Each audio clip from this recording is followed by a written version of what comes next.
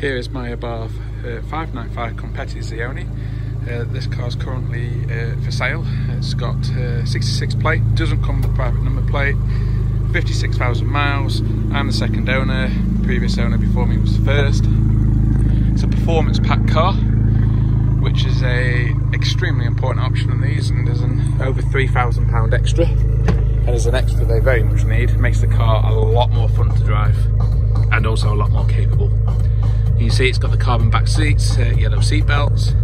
It's got the uh, 7 inch infotainment system. This car also features upgraded Focal uh, front speakers along with a Kenwood underfloor amp and sub. Gives it a much nicer sound compared to the standard system or the upgraded Beats optional extra. It's got Xenon headlights. Again, carbon back seats are stunning.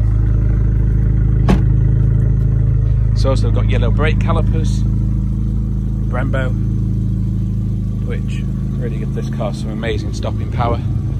Xenon headlights. Basically, it's a fully loaded Abarth 595 Competizione. I'm the second owner, 56,000 miles, which will continue to increase. Amazing sound from this factory exhaust on these cars. The valves are locked open on this car, hence why it may be a little bit louder than what you would normally expect from one. And I believe that's about it. I'll show you see carbon seats there. Also, this car comes with a steering lock and it's also fitted with a Clifford Thatcham Category 1 alarm and immobiliser. So just make sure that it stays on your drive and nobody else's.